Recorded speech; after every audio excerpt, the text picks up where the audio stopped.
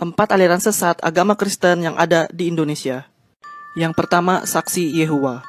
Saksi Yehua didirikan di Amerika Serikat pada akhir abad ke-19, tepatnya pada tahun 1870, di bawah pimpinan Charles Taze Russell.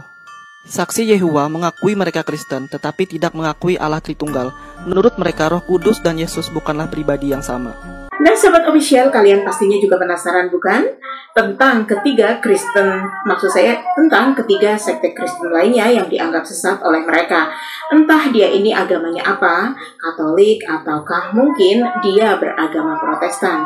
Tetapi yang jelas, dia menganggap empat sekte Kristen ini sesat. Kalian juga pasti penasaran bukan? Kalau begitu, mari kita simak video selengkapnya.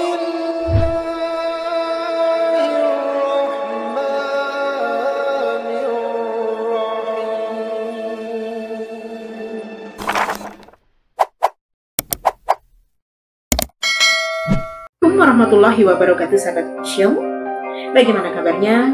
Senang rasanya masih bisa berjumpa kembali dengan kalian melalui channel ini. Tentunya dengan pembahasan ilmu dari agama yang berbeda-beda.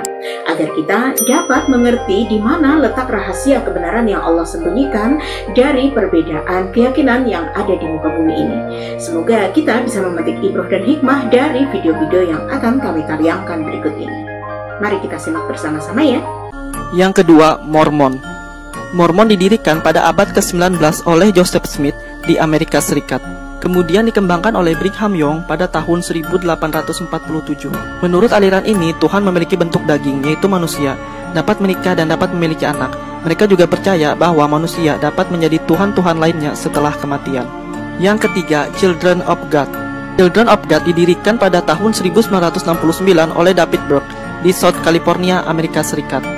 Aliran ini menentang ajaran keselamatan yang terdapat di Alkitab, mempercayai bahwa Yesus berhubungan dengan Marta dan Maria, mempercayai bahwa malaikat Gabriel berhubungan dengan Maria saat menyampaikan kabar baik, dan mempercayai bahwa Roh Kudus adalah berkelamin wanita. What? Yang terakhir, Christian Science. Christian Science didirikan oleh Mary Eddy pada tahun 1879. Christian Science memiliki kitab suci sendiri, yaitu Science and Health, yang ditulis sendiri oleh Mary Eddy. Aliran ini menyebut Yesus bukanlah Tuhan dan mempercayai bahwa Yesus tidak pernah dicobai iblis dan menyebut Yesus tidak pernah mati karena kematian itu tidak ada. Nah, sahabat ofisial, jadi itulah keempat sekte Kristen yang dianggap sesat oleh mereka beserta doktrin-doktrinnya. Jadi, yang diakui benar oleh mereka adalah Katolik dan Protestan. Sementara kedua agama ini juga saling tuduh dan menyesatkan, yakni Katolik yang menganggap sesat Protestan dan Protestan juga sebaliknya menganggap sesat Kristen Katolik karena kitab sucinya berbeda. Jika kedua Katolik dan Protestan ini berbeda pandangan, berarti hanya ada satu yang benar yaitu satu yang benar itu pun diragukan kebenarannya karena tidak menjalankan perintah Yesus banyak ajaran-ajaran yang dipraktekkan sebagai ajaran agama Kristen. Anda tahunya ini ajaran agama Kristen. Ya, bayar perpuluhan, kemudian menyembah Allah Tritunggal Maha Kudus, ibadah hari Minggu, ya, seperti itu. Anda tahunya kan itu ajaran agama Kristen. Nah, padahal teman-teman, ajaran-ajaran itu juga bukan ajaran Alkitab ini yang seluruh dunia harus tahu. Ajaran pembodohan publik yang dilakukan oleh pendeta Gilbert Lumuendong yang mengatakan bahwa Allah yang maha kuasa, ya Allah yang maha kuasa harus menjadi manusia. Belum lagi Kristen Ortodok, pecahan dari Kristen Katolik juga. Lalu ini ibadah Kristen apa yang menggosok-gosok dada menggunakan salib la 60, la 50, la 40, la 30, la 20, la 10, la 9, la 8, la 7, 6, la 5, la 4, la 3, la 2, la 1, hasta la actualidad. Por tercera y última vez en honor al Espíritu Santo, la 2000, la 1000, la 900, la 800, la 700, la 600, la 500. Kami tidak tahu ini ibadah macam apa atau mungkin ibadah Kristen aliran baru ya sahabat official. karena sungguh aneh mereka menggosok-gosok badannya dengan uh, salib gitu ya. Karena yang kami tahu aliran kekristenan itu terbagi banyak sekali bahkan lebih dari apa yang disebutkan oleh pemuda tadi. Begitu juga dengan ibadah Kristen yang ini.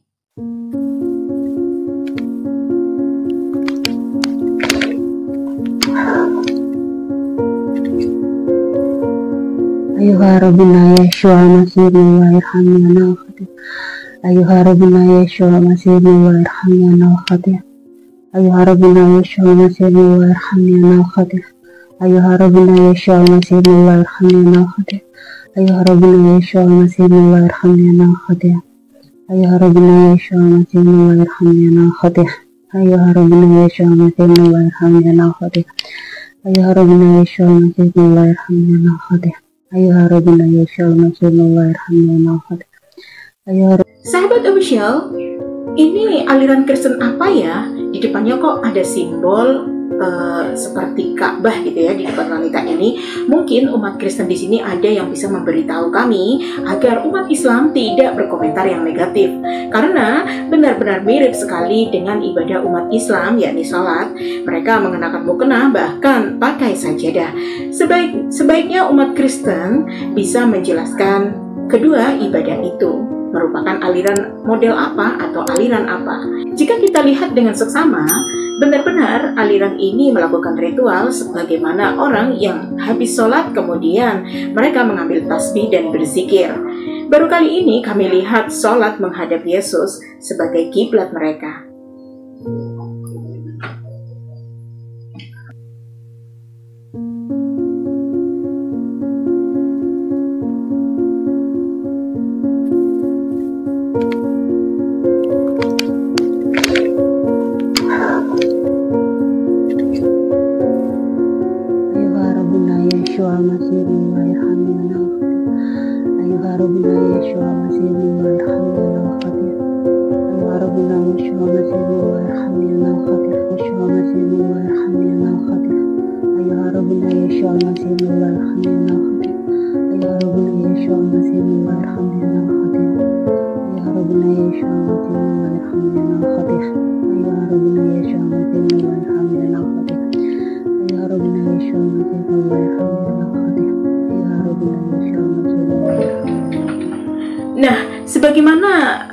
Nabi Ibrahim alaihissalam berkata, beliaulah yang dianggap sebagai bapak dari ketiga agama Semitik ini.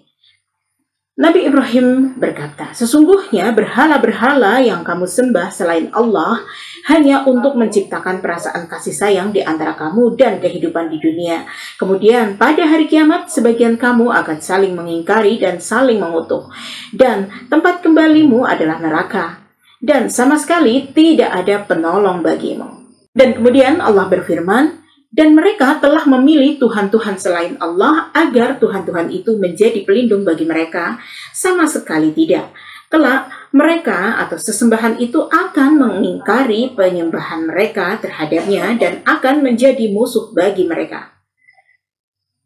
Firman Allah itu sudah dibuktikan pada mulut pendeta mereka sendiri. Umat mana yang bernubuat dalam nama Yesus? Kristen. Umat mana yang bikin mujizat dalam nama Yesus? Kristen. Kata Yesus apa? Enyalah. Nah. Sungguh maha benar Allah dengan segala firman-Nya. La 60, la 50, la 40, la 30, la 20, la 10, la 9, la 8, la 7, 6, la 5, la 4, la 3, la 2, la 1.